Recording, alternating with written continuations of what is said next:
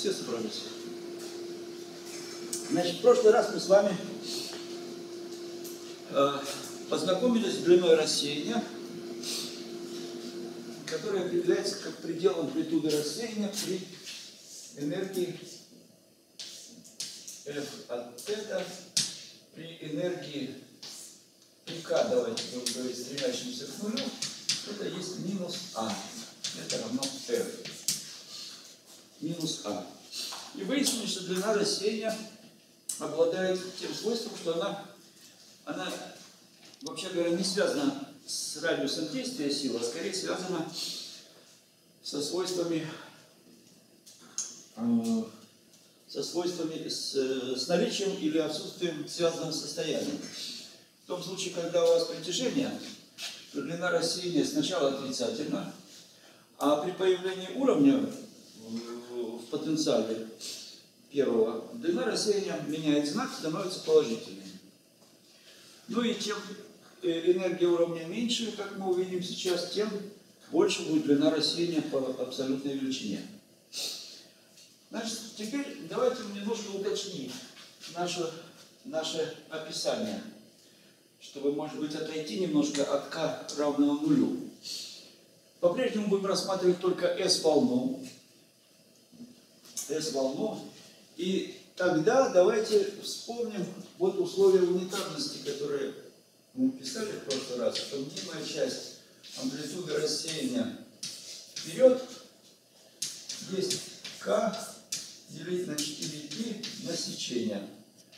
Значит, мы рассматриваем нейтрон-протонное рассеяние, ну или там ну, нуклон-нуклонное рассеяние при малых энергиях, поэтому неупругих каналов нет. Поэтому все сечение только здесь. Сечение упругое. Полное сечение совпадает с упругим. Теперь, если у вас только одна S-волна, L равная нулю рассеяния, то сигма Э, во-первых, здесь тогда зависимости от углов нет. И сигма равна 4π f по в квадрате. И тогда это соотношение принимает вид такой, что мнимая часть f, вот этой амплитуды, равняется k умножить на f по модулю в квадрате. Значит, давайте разделим величину вот это на f, квадр, f по модулю в квадрате и перепишем в таком виде. Мнимая часть f поделить на f по модулю в квадрате равняется k. Теперь вот это выражение, как легко видеть, это есть минус мнимая часть от единицы на f. мнимая часть от единицы на f со знаком минус. Это есть как раз мнимая часть f поделить на f по в квадрате. Но это элементарно, если вы здесь умножите обе части на f сопряженное, то вы прям получите вот это соотношение. Вверх числитель и знаменатель. Ну тогда мы видим, что общий вид, сейчас мы можем установить общий вид амплитуды f. То есть мнимая часть у вас определена однозначно. Вот это соотношение во мнимую часть определяет однозначно. Ну и тогда f, общий вид амплитуды f, может быть такой. Это есть... Так, минус надо писать или не надо? Сейчас я посмотрю. Да, не надо минус писать. Значит, давайте напишем, что f это есть единица поделить на g минус 3k, где g это некоторая функция от k, g некоторая функция от k, и это справедливо при всех, при всех k, для всех энергий. Для, ну и это не только для S волны, это для любой парциальной волны, только здесь будет стоять в общем виде, э, будет стоять показатель L, и здесь функция будет L. Тем не менее, мнимая часть по-прежнему останется такой же. Да, теперь, если мы вспомним, что f есть, оно связано с фазой рассеяния, как e в степени 2 и дельта минус 1 поделить на 2 и k, то тогда отсюда, подставив вот это выражение, мы можем найти g. И для g мы получим простой, простой вид. что G равно К на котангенс дельта. Решив это уравнение тривиальным образом, получим вот такое простое соотношение. Что же есть К котангенс дельта?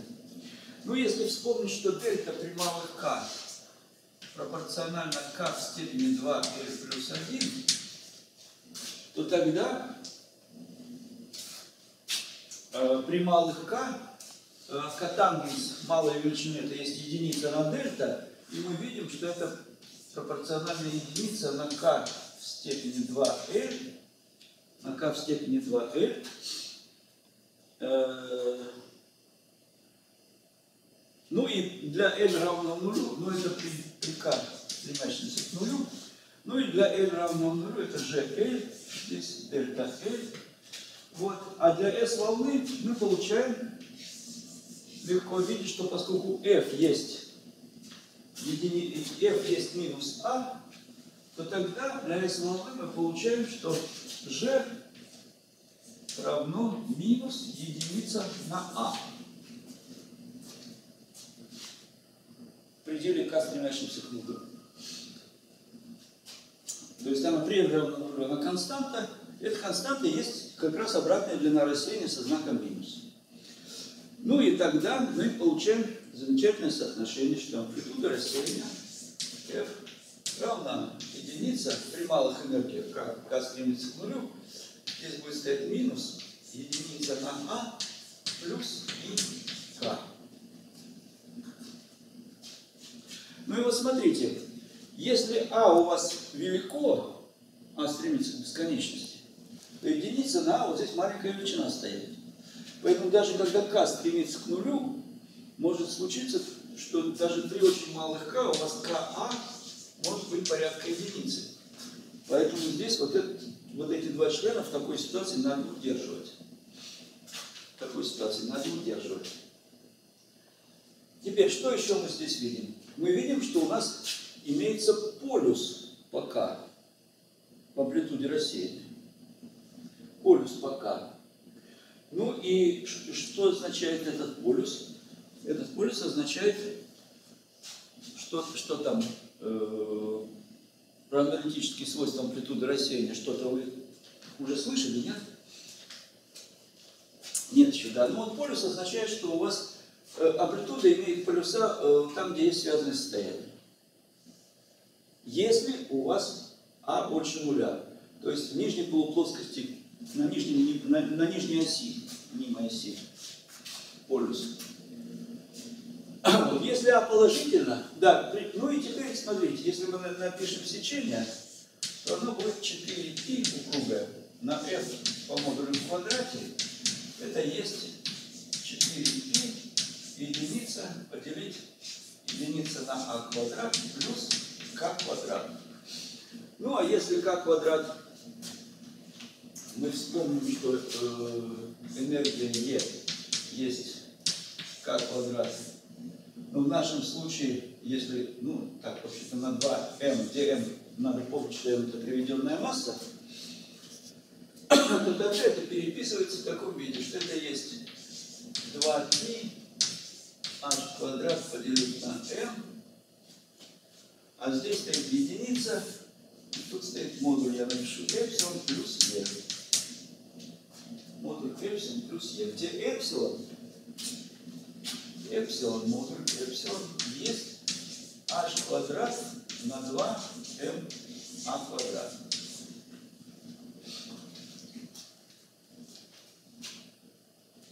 Только тут надо еще написать h квадрат. h квадрат. H квадрат на 2m на квадрат. Ну и вот в случае, когда у вас длина рассеяния положительна, то вот э, это есть энергия связанного состояния, мелкого уровня, когда есть мелкий уровень. То есть величина длины рассеяния прямо связана в этом случае с энергией уровня. И вот те самые пять, пять ферми, которые с чем-то, которые были 5,44 ферми для триплетного состояния, а триплетное равняется 5,44 ферми, они как раз отвечают энергии связи порядка около 2 В. Около 2 В, может быть, чуть больше. Это есть энергия связи дейтрона, ядра дейтерия. В сингретном состоянии у вас асингретное есть минус 23,72. То есть вот эта эпсилон очень мала. Эпсилон очень мала. Она в этом случае, вот в этом случае эпсилон составляет порядка 70 килоэлектронвольт. 70 кэф, 70 килоэлектронвольт. Для ядерных масштабов эта величина очень маленькая. Так вот, какой смысл в этой энергии есть? И все равно, смотрите, сечение ведет себя очень резко в нуле. То есть, видите, тут Е порядка эпсилон, тут резкая зависимость. Резкая зависимость. Но в таком случае говорят, что имеется виртуальный уровень. Вот в этом случае есть виртуальный уровень.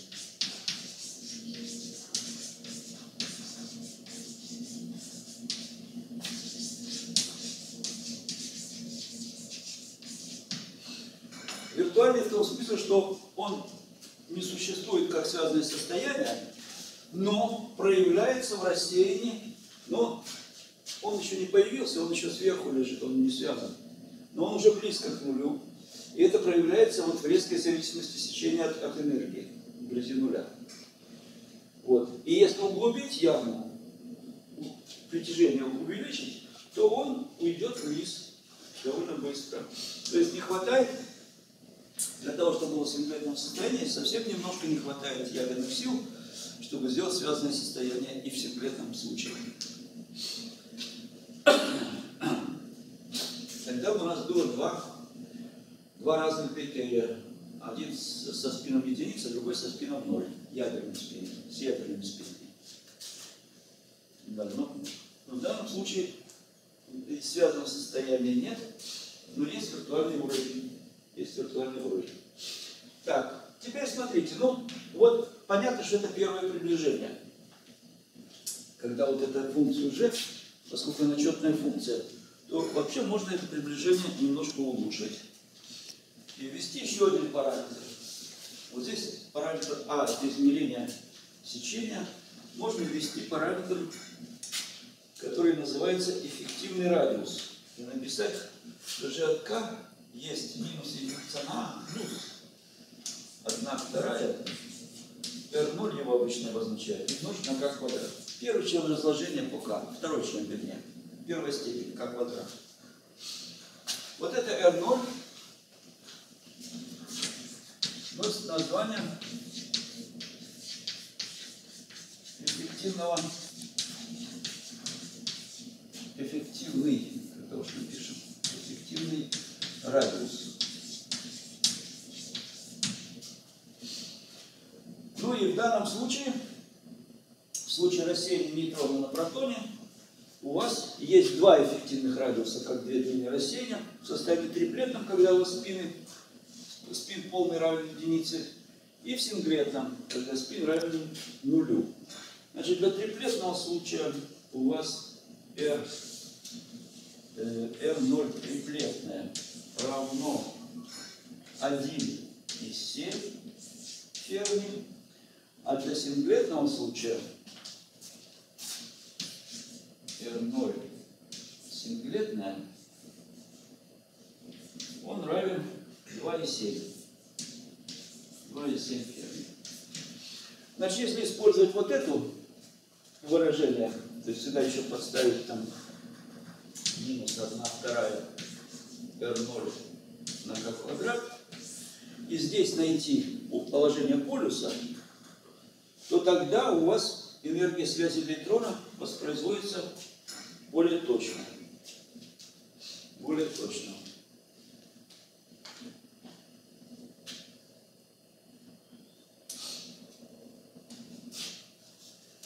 Можете просто подставить, поскольку энергия связи электрона, она всего лишь составляет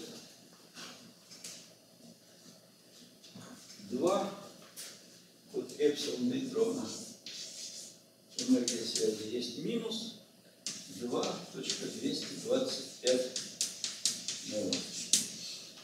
Вот. Ну и по этой формуле получается немножко больше энергия связи. Ну а если учесть второй шаров, эффективный радиус, тогда он получается близким к этому экспериментальному значению. Вот. Ну вот, это, собственно, то, что мы можем сказать про рассеяние при низких энергиях. То есть мы выясняем здесь, есть ли у вас связанные состояния, определяем знак рассеяния, если это возможно. Мы в прошлый раз обсуждали, как это можно сделать для, для нейтрон, рассеяния нейтрона на молекуле водорода, на молекуле либо э, ортоводорода, либо пароводорода. В этом случае у вас сечения получаются разные, и отсюда можно относительный знак вот этих длин рассеяния определить. Так, дальше. Теперь, ну, если вы идете при более, высокой энергии, у вас начинают высшие орбитальные моменты давать вклад в рассеяние. То есть начинает там B-волна, D-волна, F-волна и так далее. Вот. В этом случае у вас еще есть, надо помнить, что у вас есть спин. Ну и вы знаете, что э, если есть спин, то даже при движении в центральном поле, при, при, при отсутствии явных сил, зависящих от спина, у вас есть э, спин-орбитальное взаимодействие. Это релятивистская поправка, есть спин-орбитальное взаимодействие. Поэтому да, в ядре оказывается спинорбитальное взаимодействие гораздо сильнее, чем в атоме, по причине, которую я немножко скажу позже, когда будем обсуждать свойства ядерных сил. Вот, но тогда значит, возникает вопрос, а как идет рассеяние в случае, когда есть спинорбитальное взаимодействие? Э, и какие эффекты при этом могут появиться? Значит, в случае, когда есть у вас спинорбитальное взаимодействие, то при рассеянии, давайте будем рассматривать просто рассеяние частицы со спином на, на, на, на каком-то поле центральном. На поле центральном. Ну, в этом случае рассеяние у вас может... Вот пускаем частицу, у которой спин имеет определенную проекцию на ось Z проекцию, там, скажем, равную какому-то мю. При рассеянии у вас эта проекция может не измениться, остаться старой, а может спин перевернуться. Если спин одна вторая, то он может перевернуться. То есть это означает, что у вас амплитуда становится уже матрицей по проекции амплитуды рассеяния. И в этом случае, значит, тогда если у вас было состояние спинор мю, какой-то отвечающий определенной проекции, μ равных плюс 1 вторая или минус 1 вторая, или частица со спином 1 вторая, то при рассеянии у вас может произойти изменение спина, и вы получите хи мю, которое может отличаться, если у вас f не диагонально, то у вас может отличаться проекция спина рассеянной частицы от проекции спина частица, которая не рассеивается. Но это означает, что, вообще говоря, в этом случае, если у вас есть пучок неполяризованных частиц, то есть у вас где вероятность обеих проекций, например, одинаковая, равна одной второй, то после рассеяния, из-за того, что вот есть вот эти недиагональные элементы, у вас может появиться поляризация. То есть пучок рассеянных частиц будет поляризован. Это означает, что там какая-то проекция будет доминировать. Вот, поэтому может в результате рассеяния появиться поляризация. Ну и поэтому надо теперь рассмотреть, как описывать рассеяние вот в нашем формализме при наличии вот этого спинорбитального взаимодействия. Когда есть спинорбитальное взаимодействие, то, как вы помните, у вас орбитальный момент сам не сохраняется, спин тоже не сохраняется, но зато сохраняется полный момент который есть L плюс S. Но мы будем всегда рассматривать спин одну вторую для простоты, чтобы не усложнять. Ну и тогда, значит, вы должны указывать, э, есть, да, когда S одна вторая, то одно и то же G может отвечать разным L. Разным L. L плюс одна вторая, L минус одна вторая. Если L на единичку отвечает, то они могут дать одинаковое G. Два L, отвечающих на единичку, они могут дать одинаковое G. Ну, это означает, что у вас фаза рассеяния, фаза радиальной волновой функции, она будет зависеть от двух индексов, от L и от G. L это значит, обычный орбитальный момент, а G вам будет говорить, э, как он складывается, как спин складывается э, с орбитальным моментом, э, какой он дает величину полного момента G. Дельта G. Ну и, соответственно, S-матрица тоже будет иметь два индекса. Я в степени 2 и дельта L G Ну и давайте мы, поскольку уже принимает значение только L плюс 1 вторая и L минус 1 вторая при сложении моментов, то давайте мы прямо будем обозначать их э, вот, вот так. Дельта L, чтобы упростить обозначение, G равная L плюс минус 1 вторая, будем писать просто здесь дельта здесь вот плюс-минус L. То есть просто вот вместо того, чтобы там указывать явно G, мы просто будем писать знак плюс или минус, дельта плюс и минус. Плюс это означает, что G равно L плюс 1 вторая, и G равно L минус 1, или минус 1 вторая. Ну теперь надо, значит, у вас тогда рассеяние идет полным моментом G, и в амплитуду рассеяния будет давать вклад, скажем, если G равно L плюс 1 вторая, то будет давать стоять величина S плюс L минус единица в амплитуде рассеяния. А в рассеянии с G равным L минус 1 вторая будет стоять S минус L минус единица. Вот так. Ну и теперь надо эти два случая как-то разделять. Чтобы их разделить, удобно ввести такой формальный прием, ввести проекционные операторы. Проекционный оператор – это оператор, который будет проектировать ваше состояние произвольное на состояние либо S, на состояние с G равным L плюс 1 вторая, либо на состояние с G L минус 1 вторая.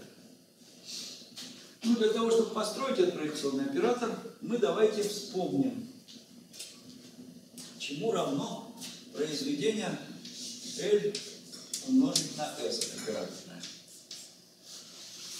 Значит, оно вычисляется из соотношения, что G равняется L плюс S. Если вы возведете в квадрат, то вы получите, что LS равняется, значит, 2 LS равняется э, G на G плюс 1 минус L на L плюс 1 минус 3 четверти. Так, удобно, значит, в этом случае работать не со спином, а с матрицей Пауля Сигма, которая есть 2 S. 2 это вектор, 2 S. Ну и тогда, значит, мы получаем, что L сигма равно g на g плюс 1 минус l на l плюс 1 минус 3 четвертых. 3 четвертых это s квадрат. Так, ну и теперь чему оно равно? Чему оно равно? Если g равно l плюс 1 вторая, то это равно Значит, L плюс 1 вторая. Ну, L квадратные члены сократятся, значит, тут будет стоять L плюс 1 вторая на L плюс 3 вторых. 1 вторая умножить на 3 вторых даст 3 четвертых, сократит вот это. Дальше здесь будет стоять э, линейные парень-члены. Здесь будет 1 вторая умножить на L эту, и 3 вторых умножить на L эту. Это будет 2L. А тут L в первой степени, одно L сократится, и получится а в ответе только равно L, если G равняется L плюс 1 вторая. Ну, а если g равняется l минус 1 вторая, то тут будет стоять l квадрат минус 1 вторая, и тогда здесь линейный член остается по l, и тут 3 четвертых, да еще 1 четвертая будет минус l минус 1. До случая g равно l минус 1 вторая. Ну, знак естественный совершенно, потому что когда g равняется l плюс 1 вторая, то они должны быть параллельны, грубо говоря, а когда g равняется m минус 1 вторая, то они складываются антипараллельно. Поэтому значит, произведение это равно отрицательному. Ну вот, теперь легко построить оператор, который проектирует на состояние с L плюс 1 вторая. Значит, давайте мы обозначим лямбда плюс L. Это есть. Ну, э, L плюс 1 плюс L сигма, я должен отметить, что это еще оператор, ну и поделить на 2 L плюс 1. Значит, если у вас состояние имеет спин, э, полный момент L минус 1 вторая, то здесь у вас получается 0. А если она имеет спин, э, э, э полный момент L плюс 1 вторая, то здесь у вас получается 2 плюс единица, оно дает единицу. Вот это проекционный оператор.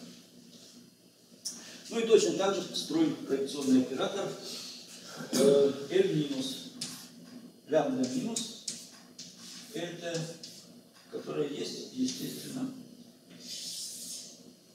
L минус L. Сигма на 2L плюс 1 на 2 и плюс 1.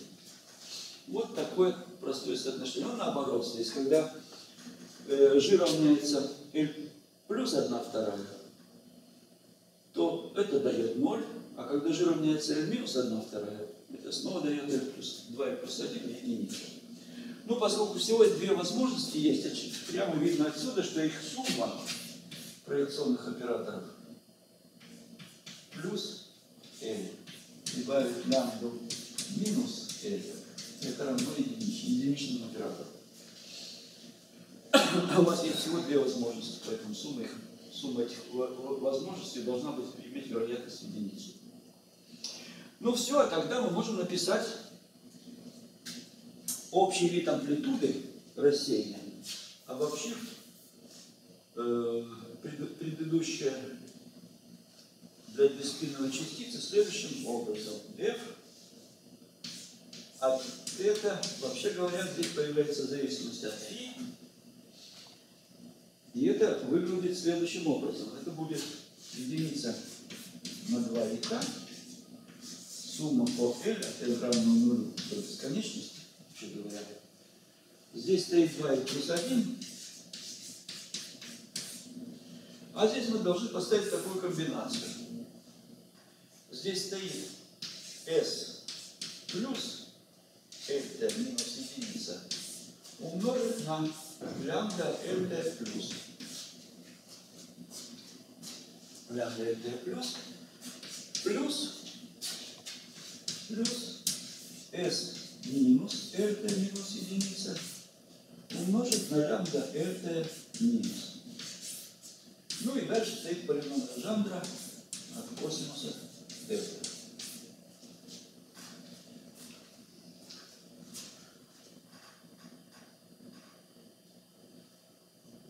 Вот такая, такой вид амплитуды. Вот мы построили прямо амплитуду. У вас работает либо этот член, либо этот член.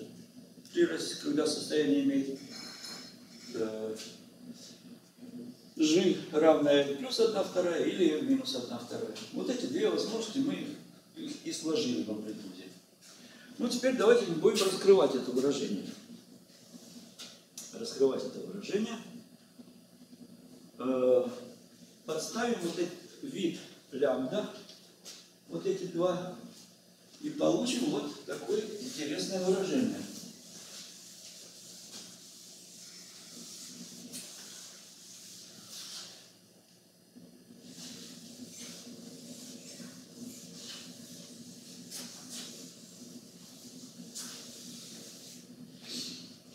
Значит, если мы подставим лямбда сюда в том виде, то плюс единица сократится, и f от f в данном случае будет единица на 2х, естественно, останется сумма от f равного нулю до бесконечности. Так, а здесь будет следующее. Здесь стоит l плюс 1 на s плюс l минус единица плюс L умножить на S минус L минус единица. Так. Да. Да, еще не все. И плюс вот такая комбинация. S плюс LT минус S минус LT умножить на L сигма. И все это действует на полином жанра от косинус Т.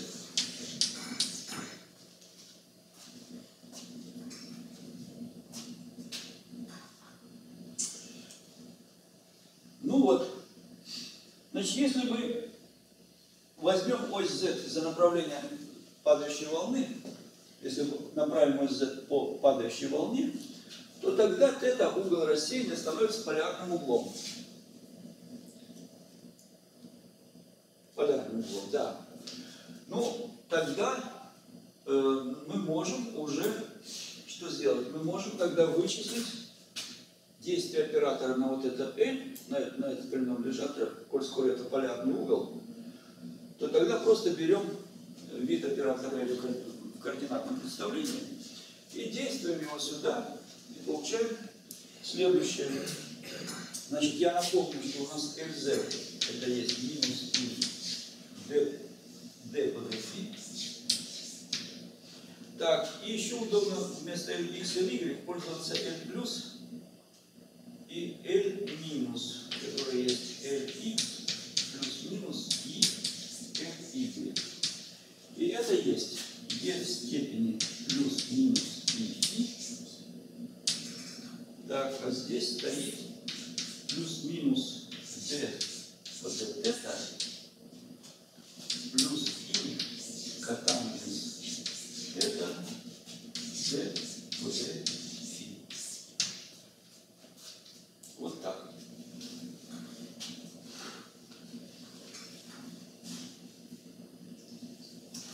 Так, ну и смотрите, значит, что у нас тут видно? Что э, поскольку здесь стоит зависит только от полярного угла, то LZ вклада не дает.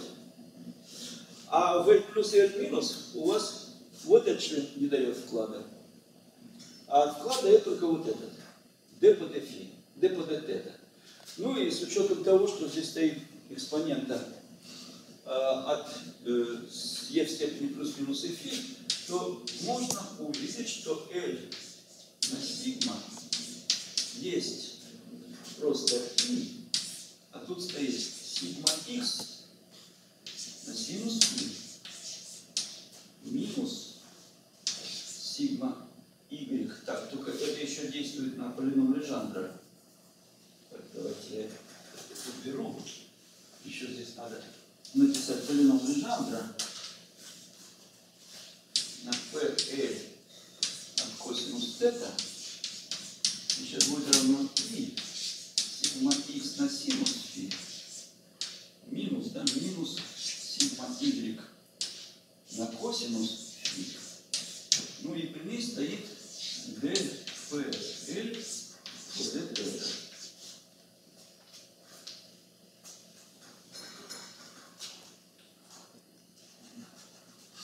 Ну, если вы помните свойства полиномов Лежандра, то производная dpl по dt это что за функция?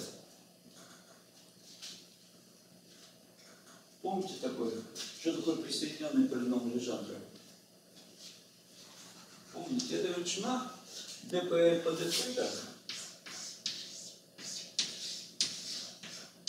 равняется минус PL1 косинус θ. Это первый присоединенный полином Лежандра. Так, теперь, а что такое вот это, смотрите, тут стоит какое-то что-то вроде скалярного произведения вектора, который перпендикулярен оси z. Сигма умножается на какой-то вектор, который перпендикулярен оси z. вот эти компоненты сигма, например, минус синус фи и косинус фи. Вектор, который перпендикулярен оси z, вот, и синус фи и косинус фи это э, полярные координаты плоскости x, y, да, получается, плоскости x, y. Полярные координаты вектора в плоскости x, y. Ну, в общем, я не буду, э, я не буду э, э, вас интриговать, а сразу напишу, что эта величина, вот если третий компонент еще будет 0, z-компонент поставим 0, эта величина 10. Векторное произведение k умножить на k где k вектор падающей волны, а k вектор рассеянной волны. Делить на его модуль. Модуль векторного произведения k на k штрих. Ну, модуль есть просто k, k квадрат на Ну, поскольку энергия сохраняется, то k, k квадрат и k штрих квадрат совпадают. Поэтому, поэтому вот э, получается такой вектор единичный, естественно, поскольку квадрат является единицей. То это вектор, как видите, у вас векторы k и k штрих определяют плоскость рассеяния они определяют плоскость, в которой идет рассеяние. Поэтому всегда, вот у вас был К, и дальше куда-то пошел К штрих, вот это угол это угол рассеяния, это К. Ну и тогда вот плоскость вот этих, лежащая на этих двух векторах, это есть, называется плоскость рассеяния. Плоскость рассеяния. Ну, а ню, вот этот ню, вектор, очевидно, это вектор, единичный вектор перпендикулярной плоскости рассеяния. Перпендикулярной плоскости рассеяния. Ну и тогда мы видим следующее, что амплитуда рассеяния у нас принимает вот такой уже более простой вид. Если мы ввели вот этот вот этот самый вектор единичный, то амплитуду рассеяния можно переписать уже в более простом виде, который есть следующее. f от θ я пишу оператор, поскольку он по спину является матрицей. Это есть а от θ плюс b, тоже функция только от θ, а вся зависимость от φ содержится вот в этом скалярном произведении. Ню умножить на сигму, где ню это вектор перпендикулярной плоскости рассеяния. Вектор перпендикулярной плоскости рассеяния. Ну, смотрите, сразу я хочу обратить ваше внимание, что э, этот вид, вообще говоря, можно было бы догадаться, так, что он должен иметь такой вид. По какой причине? Посмотрите, у вас, значит, э, э, взаимодействие, если сохраняет инвариантность, имеется инвариантность относительно отражения времени отражения координат, то тогда и амплитуда рассеяния должна быть инвариантна относительно преобразования э, относительно инверсии, то есть когда вы меняете R на R, и относительно отражения времени. Значит, при инверсии у вас, значит, ну тут это остается таким же, э, у вас только там фи меняется. А при инверсии, значит, смотрите, сигма не меняется, это э, спин, это момент импульса, это аксиальный вектор, поэтому он может быть свернут только с аксиальным вектором каким-то. А у вас есть только два вектора задачи, k и k'. Ну и единственный аксиальный вектор, который вы можете построить, это как раз их векторное произведение. Вот. С другой стороны, еще к тому же, и эта величина оказывается и т-инвариантной, потому что при отражении времени спин меняет знак, а вектор k на k' будет тоже менять знак, просто по той причине, что вы должны начальное и конечное состояние поменять местами. То есть вы должны k и k' поменять местами.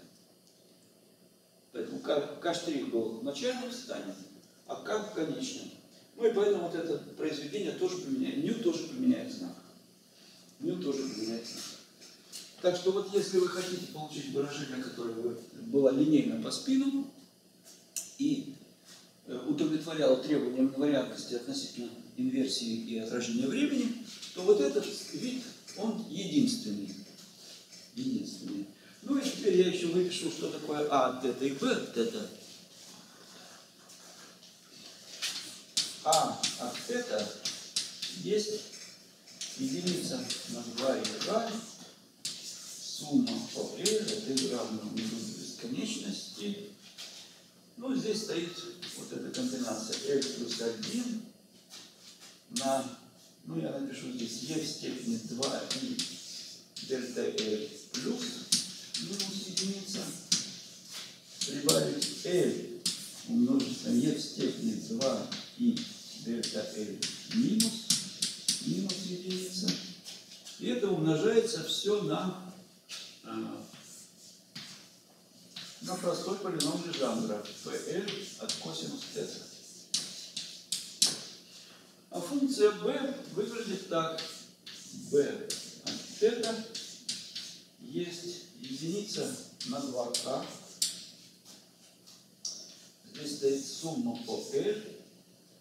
e в степени 2 и дельта L плюс минус e в степени 2 и дельта L минус.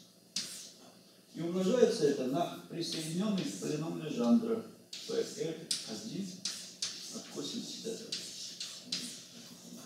А вся зависимость от фи содержится значит, как раз вот в этом векторе, векторе, э, векторе единичном векторе перпендикулярной плоскости России. Вот такие вот выражения. Ну, прям видно отсюда, что если у вас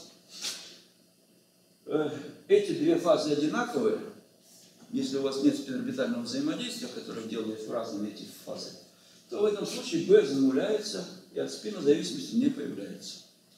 Поэтому только если есть спинорбитальное взаимодействие, возникает, э, возникает вот этот член. Вот этот член. Дальше. Э,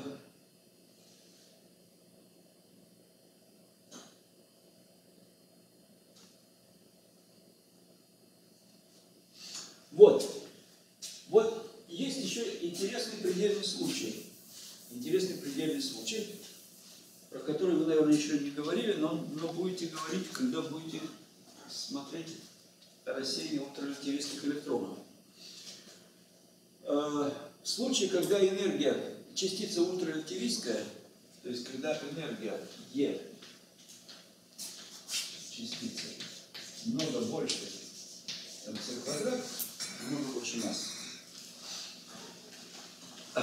И массой можно пренебречь, выкинуть ее, то в этом случае у вас частица, она становится безмассовой как бы, и тогда сохраняется спиральность у нее.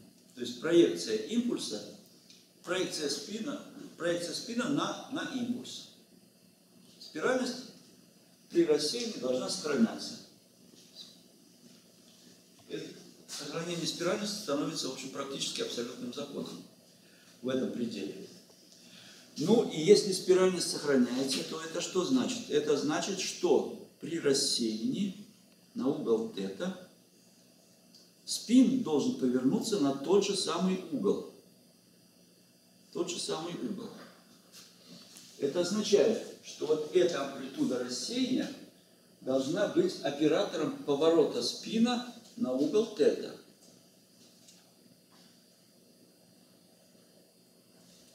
Оператор поворота спина на угол θ.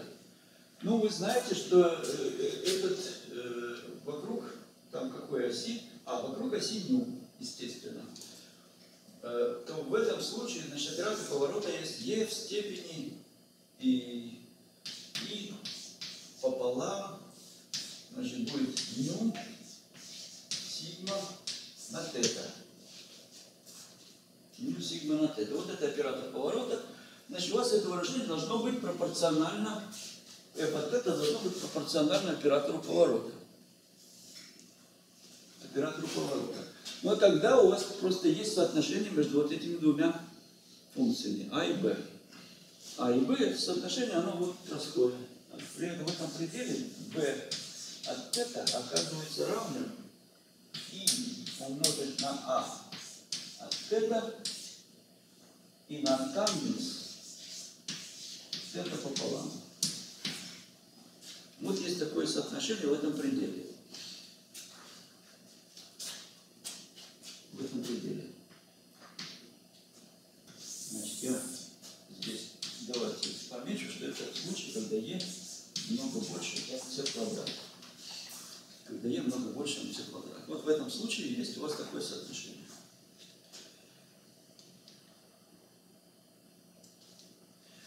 Так, еще одно интересная ситуация, что если у вас имеется борновское приближение, можно, применимо. Борновское приближение. Уже знакомились с борновским приближением? Рассеяние, когда рассматривается по теории возмущения. Первый порядок теории возмущения.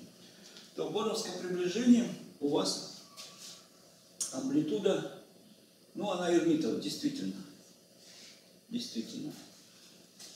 И тогда, в этом случае, коэффициент, коэффициент b, как видите, он у вас здесь вот стоит и, а здесь нет и.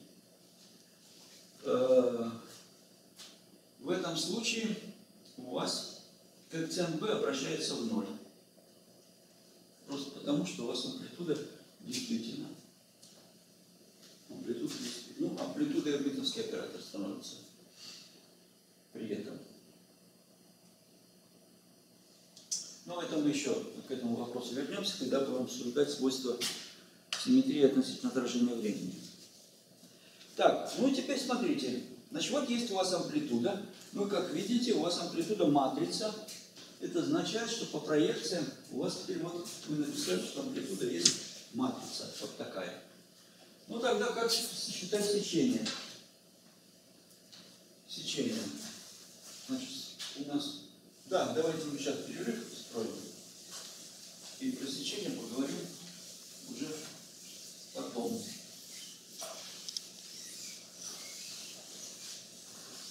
Теперь смотрите, мы имеем амплитуду, которая является матрицей. Поэтому величина f ню штрих или ню, ню штрих ню, давайте в квадрате, ну, это есть в данном случае свечение округлого рассеяния, но совершенно в определенном состоянии, когда у вас состояние мю переходит в мю штрих. Переходит в мю штрих. То есть начальное состояние было мю, конечное состояние стало мю штрих. Конечное мю штрих. Вот это для такого состояния. Теперь дальше.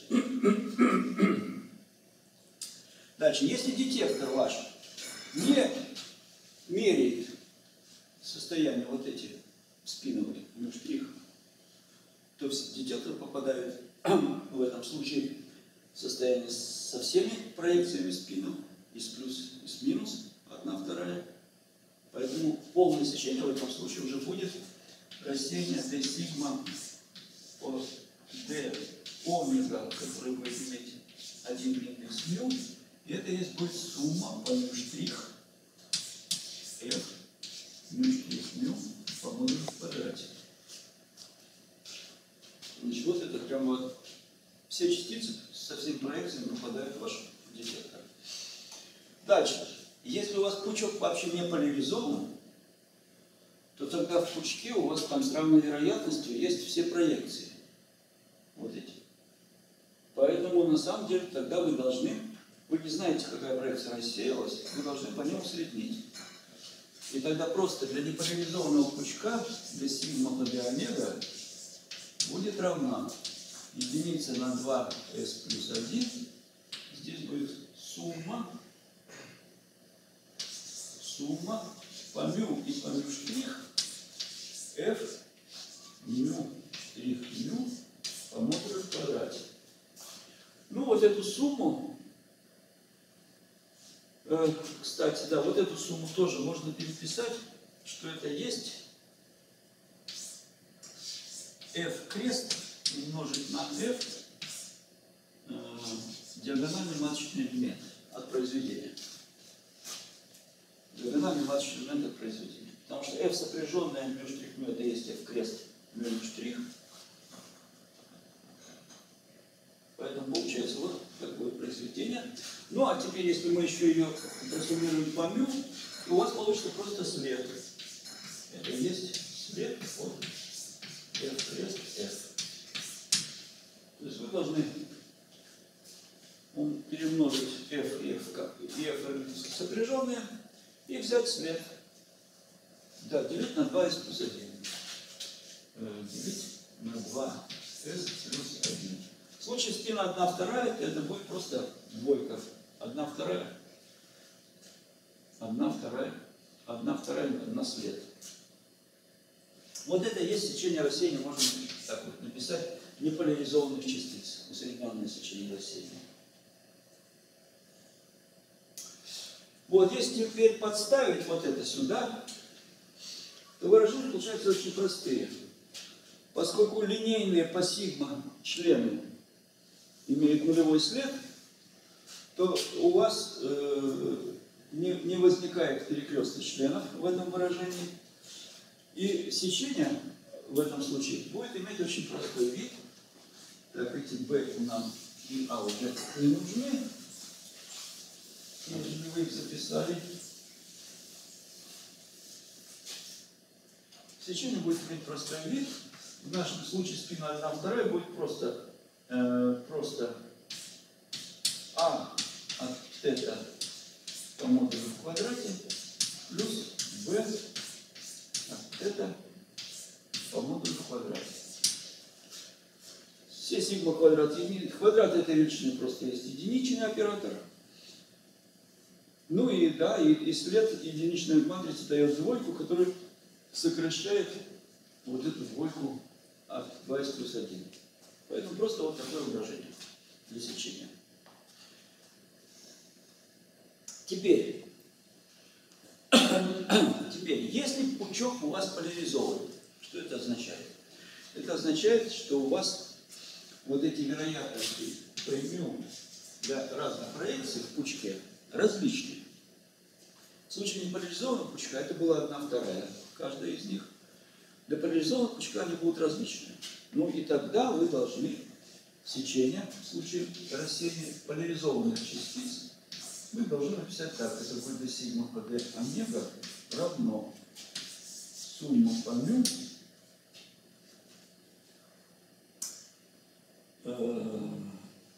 здесь будет мю, а тут будет стоять вот это самое крест умножить на f мю t мю t ну, в этом случае, в этом случае, значит, получается ответ следующий. Следующий ответ. Здесь уже у вас, э, поскольку нет следа, то э, сумма помимо от вот этой матрицы, от линейной, будет отлично от нуля. Квадрат по-прежнему даст единицу, и поэтому, значит, тут получится сначала вот то, что было для неполяризованных частиц, это квадрат одной плюс квадрат другой.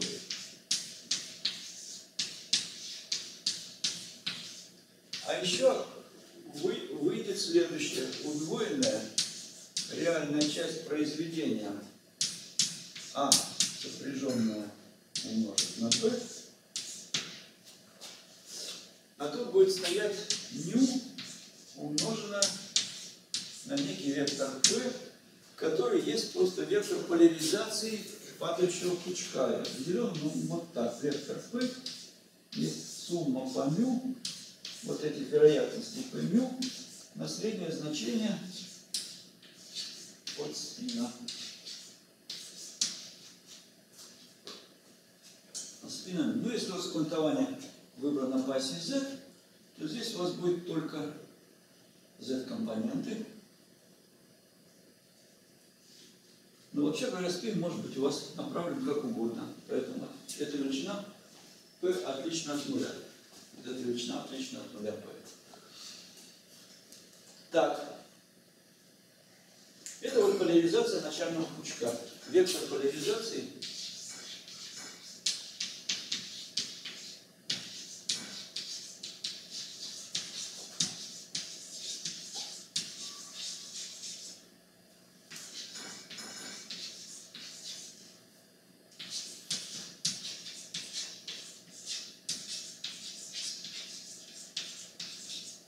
начального пучка.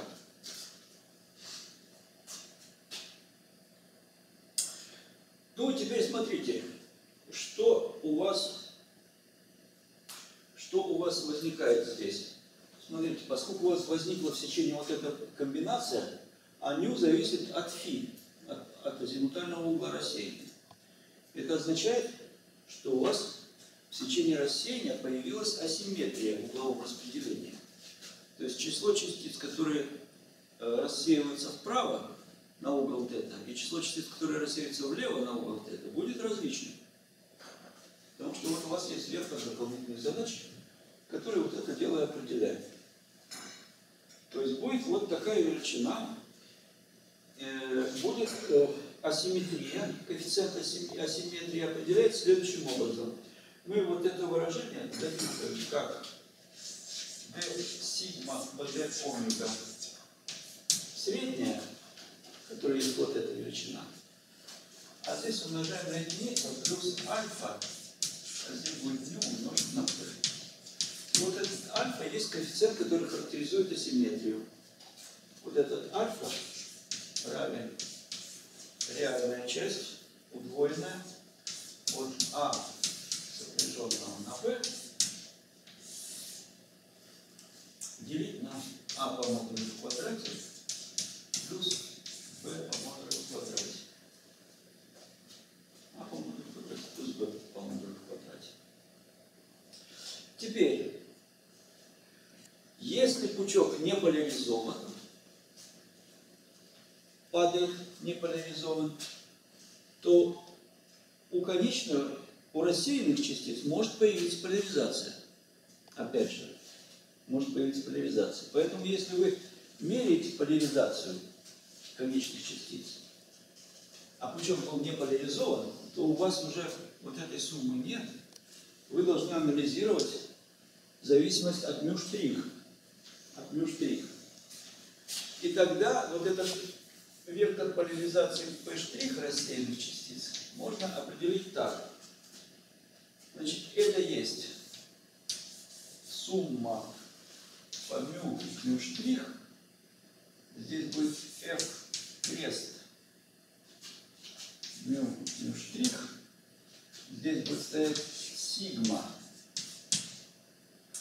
от мю штрих, мю 2 штриха умножить на f, мю 2 штриха, мю.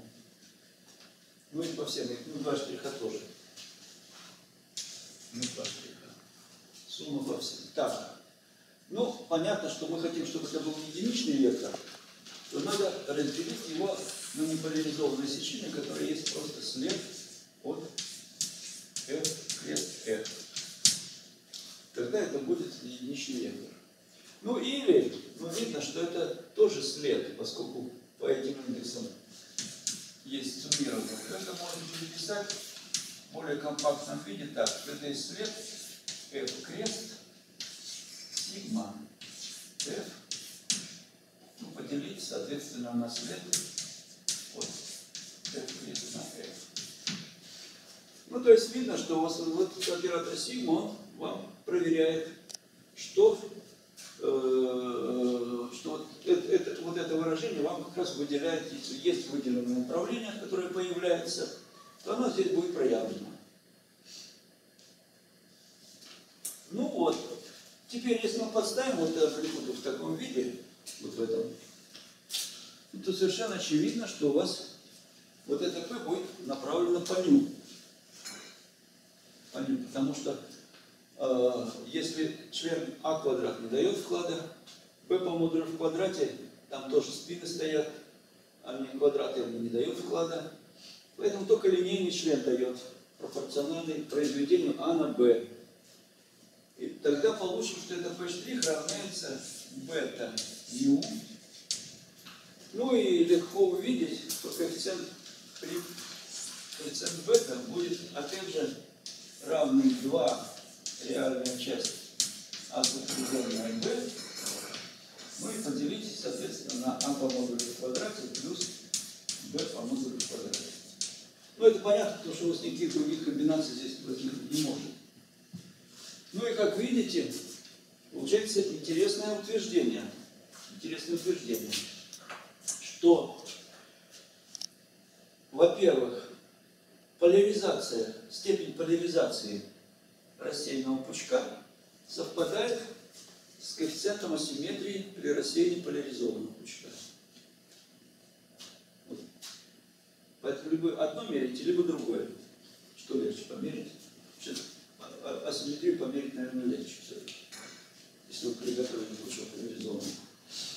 Вот. А, да, еще одно утверждение, что поляризация частиц, которая появляется, она всегда перпендикулярна плоскости рассеяния. То есть она направлена по ню штрих. Частица перпендикулярна плоскости рассеяния.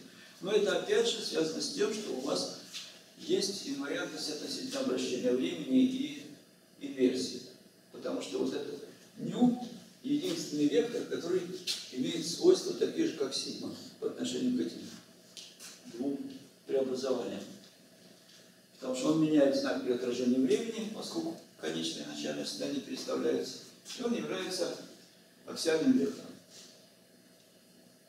Вот есть такие два интересных утверждения. То есть, видите, спинорбитальное взаимодействие приводит вот к таким двум эффектам, что, во-первых, у вас появляется асимметрия, если пучок был поляризован, ну, естественно, у вас есть выделенное направление, поэтому вправо от этого вектора, влево от этого вектора у вас будет некоторая разница. Но причем тут видно, что у вас видно, что здесь вот входит только на самом деле проекция поляризации на плоскость, на, на, на, на перпендикуляр плоскости рассеяния. Только вот она видна. Ну и тогда будет право-левая асимметрия в этой плоскости. При рассеянии на одинаковый угол θ. Так, ну вот, все, что касается рассеяния, мы, я думаю, на этом сейчас закончим такие общие вопросы про рассеяние. И теперь займемся рассеянием двух протонов. Двух протонов. Значит, в чем разница при рассеянии двух протонов по сравнению с рассеянием нейтрона на протоне? Ну, здесь появляется два момента. Две, два существенных отличия. Первое отличие, что у вас два протона тождественные частицы. Поэтому надо что-то э, учитывать принцип Паули или там свойства симметрии волновой функции из двух протонов относительно перестановки. Это раз. Второе, у вас они заряженные частицы. Кулон, э, кулоновские силы действующие, поэтому даже если протоны пролетают далеко друг от друга и ядерного взаимодействия нет, то есть резерфордовское рассеяние. Ну вот эти два отличия надо... Да, вот и- и комбинация вот этих двух факторов приводит к тому, что сечение протон-протонного рассеяния, вообще говоря, отличается от резерфордовского, но не за счет сильного взаимодействия, а за счет того, что вы должны учесть принцип Пауля. Поэтому сечение будет немножко иметь другой вид. Оно связано с резерфордовским, но будет немножко выглядеть по-другому. Так, значит, что сначала? Сначала. Сначала давайте мы про тождественность поговорим. Значит, вот если у вас в системе центра масс есть рассеяние, вот одна частица летит сюда, отклонилась сюда, вторая частица летит сюда, отклонилась сюда, то в том случае, когда частицы тождественны, у вас вот этот процесс и процесс рассеяния вот такой. Неразличимы. Значит, в этом случае рассеяние идет на угол θ. В этом случае рассеяние идет на угол π минус θ. Вот этот угол, вот этот угол рассеяния. Если этот угол θ, то этот угол π минус θ. Вот этот угол θ. Вот угол рассеяния θ и π минус θ. Эти два процесса неразличимы. Если бы у вас рассеяние было классическим, классической механики, то вы бы просто взяли два сечения, вот эти сложили. Вы бы взяли сигма от бета и сложили бы сигма от пи минус бета. Да. Ну и все. Теперь в квантовом случае ситуация другая. В квантовом случае вы же понимаете, что надо складывать не сечения, а амплитуды. Поэтому здесь возникает, возникает некоторая, некоторая разница. Значит, если давайте мы сейчас напишем амплитуду рассеяния, э, э, введя все, учтя все, все обозначения. Значит, вот есть два протона, у него амплитуда рассеяния, есть, давайте, два фермиона. F от, от K, K штрих, э, S1 и S2. S1 и S2 это э, проекции спинов. Так вот, для фермионов вы должны взять амплитуду рассеяния F от K штрих, S1, S2. Это вот этот процесс. И к ней добавить второй процесс, который отвечает следующему. F от минус K штрих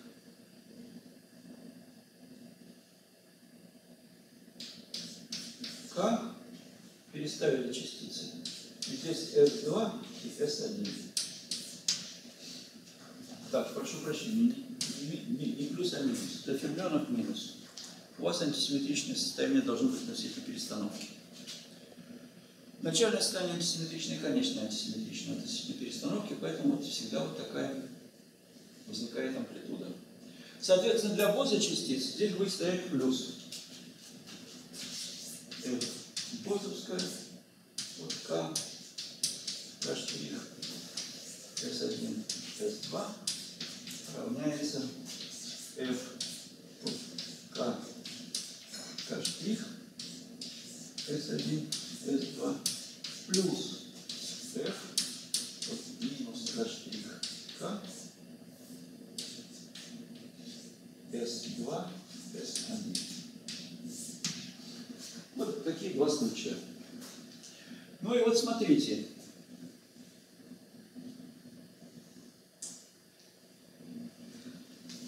Э, Значит, если вернемся к двум протонам, у нас стоит вот такая комбинация. Теперь, э, как мы говорили, когда две частицы со спином, одна вторая рассеиваются на друг на друге, у вас рассеяние может идти в состоянии, когда полный спин либо единица, либо ноль. В триплетном состоянии, если в триплетном состоянии, то у вас волновая функция спиновая, она как- каким свойством симметрии обладает относительно перестановки? Спин единица. Из, из двух спинов одна вторая, когда вы складываете. Ну, понятно, что они должны быть параллельны. Ну, поэтому по относительно перестановки у вас амплитуда симметрична, э, волновая функция симметрична. Поэтому у вас по вот этим индексам у вас есть симметричное состояние, и тогда для полного спина S равного единице у вас амплитуда рассеяния будет содержать f от k, k' минус f от минус k' k.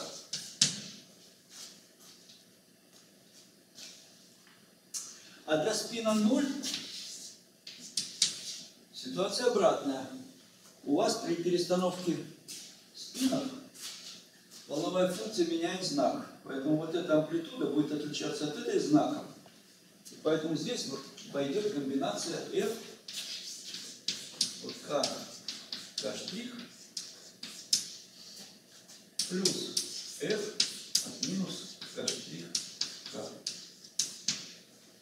Минус k штрих k.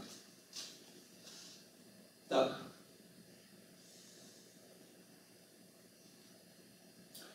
И что мы видим? Если мы возьмем рассеяние на 90 градусов, на 90 градусов, то тогда у вас эти два, эти две амплитуды будут одинаковы, когда у вас на 90 градусов. Это сюда, это сюда. У вас они просто не отличаются. Но это означает, что тогда вот эта амплитуда обращается в ноль, но зато вот эта амплитуда удваивается. Это означает, что сечение рассеяния на 90 градусов в сингулярном состоянии в 4 раза больше для тождественных частиц, чем для нетождественных, с, теми же, с тем же взаимодействием. А э, в триплетном состоянии сечение вообще ноль. В то время как вот здесь вот вы всегда были бы имели двойку в классике. В классике вы всегда бы имели двойку.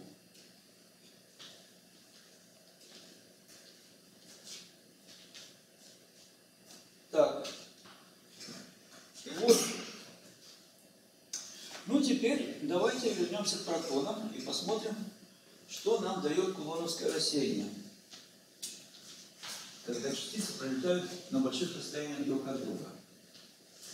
И ядерное взаимодействие не участвует в этом рассеянии. То, что фактически наблюдал Резерфорд в своем эксперименте по обнаружению по рассеянию альфа-частиц на ядрах.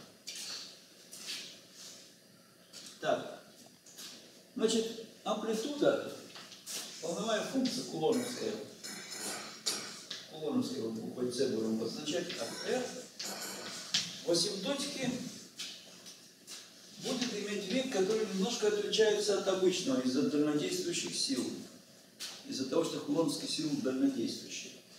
А именно, там будет вот такая асимптотика. Е в степени И. Значит, здесь будет стоять Z.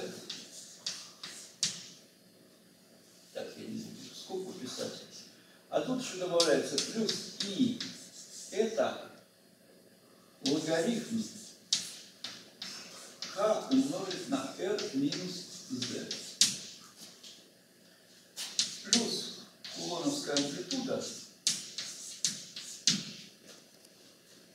И здесь сферическая волна, которая тоже имеет вот такую зависимость. Е в степени и как r плюс, и тут минус.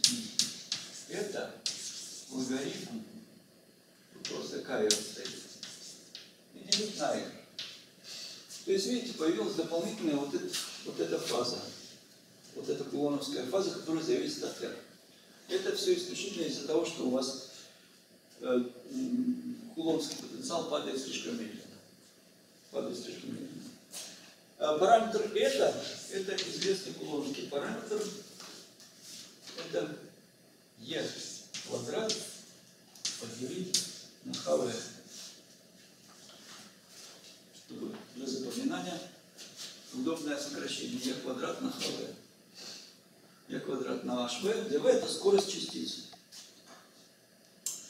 Так, ну а какой вид имеет амплитуда рассеяния? Установить легко. Надо открыть ландау и посмотреть. Там можно найти, что амплитуда рассеяния f лоновская равна минус e квадрат поделить на 2m v квадрат синус квадрат это пополам. А тут стоит такая величина гамма функция от единицы плюс 3 это поделить на гамма функцию от единицы минус 3 это. И еще вот такая фаза e в степени минус i это тут стоит логарифм от синус квадрат это пополам. Ну так, на вид страшно. Правда, да?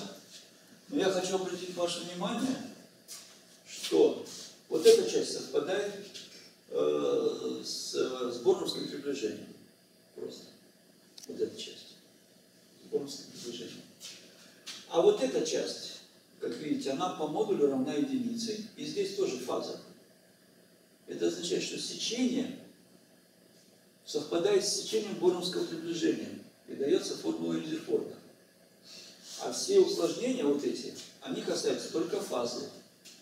Если бы было просто рассеяние, частица одна рассеивалась на Кулоновском поле, или, или там две частицы разные, то тогда ничего бы не было вот этих вот амплитуд. И тогда просто было бы сечение резерфордовского рассеяния. Но у вас есть два протона. И вы должны для рассеяния э, вот, вот, вот, эту, вот эту вот самую вот эту процедуру проделать. То есть вы должны, скажем, взять вот эту амплитуду и к ней прибавить амплитуду э, от угла π минус тета. Ну, у вас здесь изменится, у вас появится косинус квадрат.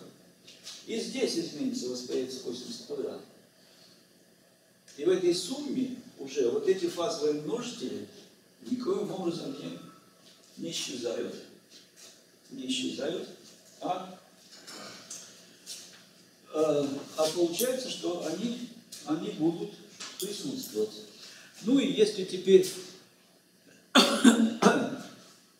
сосчитать вот для этих двух случаев и написать сечение растения не поляризованное для двух частиц, вот сигма средняя по диаметру, оно будет, естественно, значит, синглет у вас в, э, в одном случае из четырех, триплет – это три состояния из четырех. Всего четыре состояния, потому что у вас спина, два спина, одна, вторая, всего состояния четыре. Поэтому это будет три четвертых дельта сигма триплетная по омега плюс одна четвертая Здесь сигма синглетная подъемная. Ну и тогда получается вот такое интересное выражение. Это будет e квадрат поделить ну, просто на массу протона и v квадрат все в квадрате. То есть там стояло две массы, а приведенная масса это есть половина массы, половина, э, то есть просто масса протона стоит. Вот, а тут стоит вот такая суровая комбинация.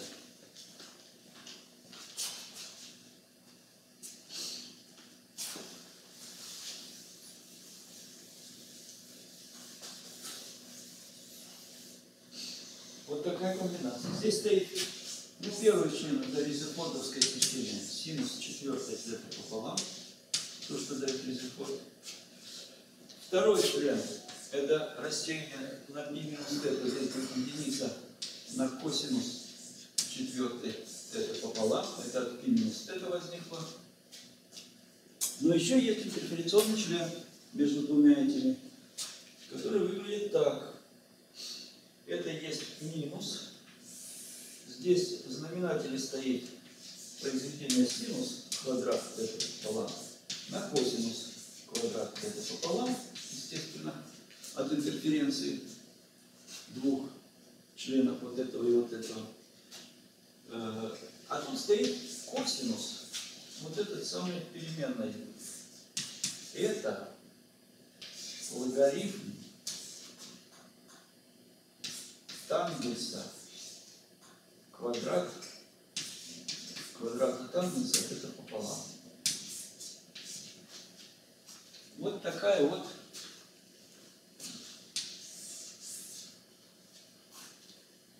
вот такая вот функция стоит. Когда θ меняется от нуля до бесконечности, то у вас... Да, я хочу обратить ваше внимание, что сечение симметрично относительно 90 градусов.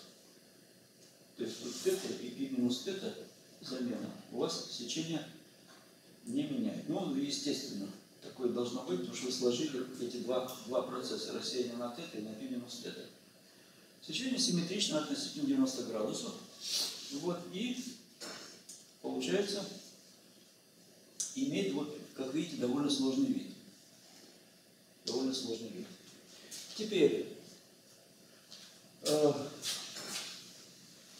теперь, значит, еще, я думаю, сейчас я успею за оставшееся время. Теперь, если у вас все-таки энергии такие, что у вас э, протоны начинают чувствовать друг друга, сильное взаимодействие сказываться начинает, то тогда тут ситуация усложняется. Но тогда из-за того, что вы знаете, что у вас есть вот это самое э, кулоновское рассеяние, вы можете описать точно, вы можете воспользоваться этим фактом для того, чтобы извлечь фазы рассеяния за счет сильного взаимодействия за счет сильного взаимодействия. Это то, что называется кулон ядерная интерференция. Когда у вас рассеяние идет и за счет кулона, и за счет сильного взаимодействия, то у вас амплитуды интерферируют. И за счет интерференции вы можете извлечь, извлечь вот эти самые выражения, вот эти фазы, возможно. Ну, для этого давайте мы вернемся к парциальному разложению амплитуды и кулоновскую амплитуду, f кулоновская от это, мы запишем вот так. Единица, она тоже записывается стандартным образом, 2ик, сумма по L, 2L плюс 1, здесь стоит e в степени 2и дельта кулон, кулоновская L минус 1. Я пока спины вообще не учитываю, на PL от косинус θ. Где фаза e в степени 2 и дельта L, она дается вот этим выражением. Гамма функция от L плюс 1 плюс это поделить на гамма функцию от L плюс 1 минус Вот это кулоновская фаза. Теперь, что делает, делает, кулоновское, э, делает сильное взаимодействие? Ну, сильное взаимодействие вам добавляет фазу в асимптотике. В асимптотике фаза получается не просто кулоновская, а она искаженная. Поэтому, скажем, если только при низких энергиях у вас S-волна в э, ядерном рассеянии, то фазу дельта, э, дельта 0 вы должны написать, что это есть дельта, дельта 0 кулоновская плюс дельта, ну дельта L давайте напишем, дельта L есть дельта L кулоновская плюс дельта L сильная, как бы ее э, дельта, дельта полная, я напишу тотал. Дельта тотал есть сумма фаз. У вас появляется фаза за счет дополнительной фазы за счет за счет э, за счет за счет сильного взаимодействия. Но причем, вообще говоря, эта фаза, она не есть фаза, которая дается чисто кулоновским, э, чисто ядерным взаимодействием, потому что присутствие кулона вам эту фазу меняет, на самом деле. Поэтому тут все не так просто. Э, фактически, ну, даже асимптотика пика равна нулю меняется, потому что если вы возьмете э, дельта 0, кулоновскую пика равна нулю, то вы получите, что дельта 0 пропорциональна e в степени минус 2π дельта 0 фаза. Фаза дельта 0 пропорциональна e в степени минус 2π на это. Где то этот фактор? Это фактически проницаемость кулоновского барьера. Потому что, чтобы э, почувствовать сильное взаимодействие, два протона должны преодолеть кулоновский барьер, подойти на низкое расстояние. Ну и поэтому, естественно, там волновая функция падает, и за счет того, что есть такой барьер, у вас вот эта фаза будет отличаться от фазы, если бы у вас не было кулоновского взаимодействия. Ладно, хорошо. Ну а теперь тогда давайте мы возьмем эту амплитуду, раз у вас появилась вот такая добавка, амплитуду и модифицируем. Скажем, если только у вас рассеяние при низких энергиях и есть только S-волна, то мы напишем, что полная амплитуда f от θ это есть f кулоновская от θ. А теперь модифицируем S-волну, написав вот здесь единица на 2 и k, а здесь я напишу e в степени 2i дельта 0 кулоновская плюс дельта L, дельта 0, вот это дельта 0 сильная, и минус e в степени 2i дельта 0 кулоновская.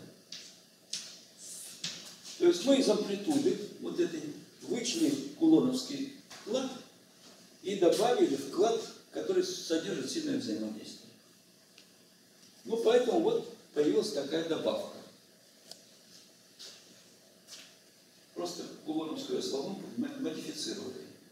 Ну, а теперь, проделав ту же самую процедуру и возведя все это дело в квадрат, нужным образом повторить вот вычисления, которые делались вот здесь, мы получим, что, вот я напишу страшную формулу одну, d сигма, и на этом мы сегодня закончим, d сигма по омега равняется. D сигма кулоновская, вот эта вот кулоновская d омега, естественно, первой от амплитуды, минус э, здесь стоит e квадрат на масса протона v квадрат. В квадрате. Так, а тут стоит вот такая вот комбинация. 2 поделить на это синус дельта 0. Этот синус умножается вот на такую дробь. Синус квадрат это пополам. Косинус квадрат это пополам. Ну, это вот подобие вот этой интерференции. А здесь стоит, ну, не так, не так, не так. Тут стоит синус квадрат это пополам, а тут стоит косинус дельта штрих от это плюс вторая дробь. Здесь стоит косинус квадрат это пополам. А здесь стоит косинус дельта 2 штриха. От это, где что такое дельта 2 штриха и дельта, я сейчас напишу. Так, нет, еще не все. И еще. Э, так, первая скобка закрывается, плюс 4 на это квадрат на синус квадрат дельта, дельта 0 сильного. Дельта 0 сильного. Вот теперь вторую скобку можно закрыть. Так, теперь что такое дельта штрих и дельта 2 штриха? Дельта штрих равно дельта 0 – это фаза сильного взаимодействия, плюс и это логарифм синус квадрат это пополам. Добавка кулона. Дельта 2 штриха отличается заменой синус на косинус. Естественно, потому что угол этой пи минус 5. Это 0 плюс это логарифм косинус квадрат это пополам. Вот такая появилась такое монстрообразное э, поведение. Вот, но я хотел обратить ваше внимание на то, что вот здесь вот стоит фаза нечетной степени, синус дельта, нечетная функция фазы. Это означает, что вы из этой формулы, подгоняя экспериментальное сечение, можете определить не только величину фазы, но и ее знак тоже. То есть фаза определяется полностью. Вот это явление как раз, вот это есть вот кулон ядерной интерференции. Кулон ядерной интерференции. Вот она вам дает вот такую возможность определить фазу. Ну и это действительно делалось.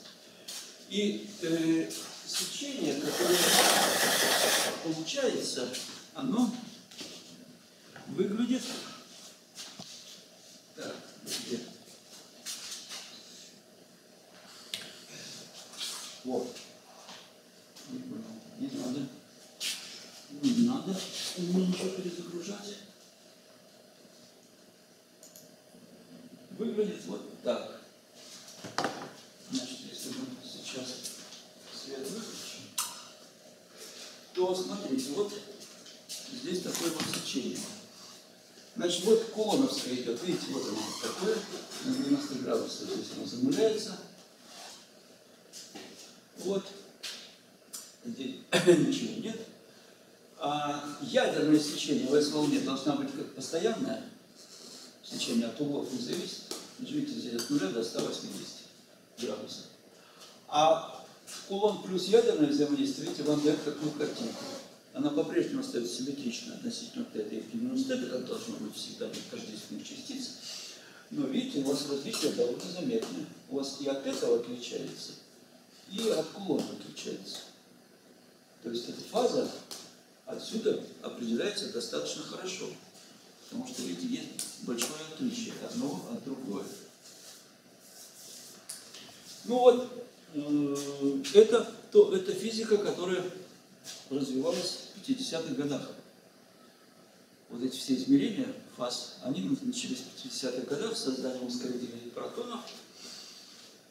И начались рассеяния на водороде делать. И тогда стали извлекать фазы сильного взаимодействия, фазы рассеяния. И дальше, коль скоро вам известны фазы, можно пытаться построить потенциал взаимодействия, потенциал сильного взаимодействия как выглядит, как выглядит потенциал сильного взаимодействия. И вот следующая лекция как раз у нас будет посвящена свойствам ядерных сил. На этом мы сегодня давайте закончим.